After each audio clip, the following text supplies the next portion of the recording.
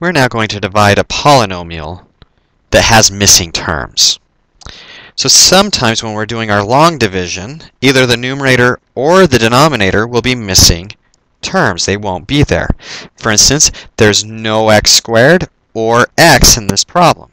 If there's none of something, that means there's zero of it. And so we need to use these as placeholders when we perform our long division. So we'll put in our 64x cubed, and then we'll put in a 0x squared for our x squared spot, and a 0x for our x spot, and then we'll add the 1.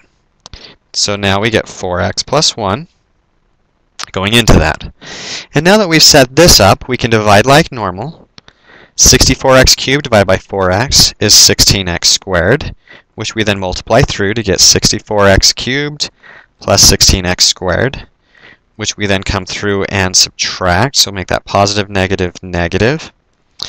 64x cubed minus 64x cubed is 0. 0 minus 16 is minus 16x squared. Bring down the 0x because that's our next piece. 4x divides into minus 16x squared minus 4x times, which gives us a minus 4x squared minus 4x, which we then subtract. So change all the signs. Now they're all positive.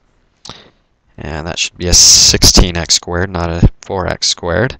So that goes to 0. 0x plus 4x is 4x. Bring down the 1. 4x divides into 4x one time leaving us with 4x plus 1, which when we subtract it, leaves us with 0. So 4x plus 1 divides into 64x cubed plus 1, 16x squared minus 4x plus 1 times. And so that's our answer. Notice it's even.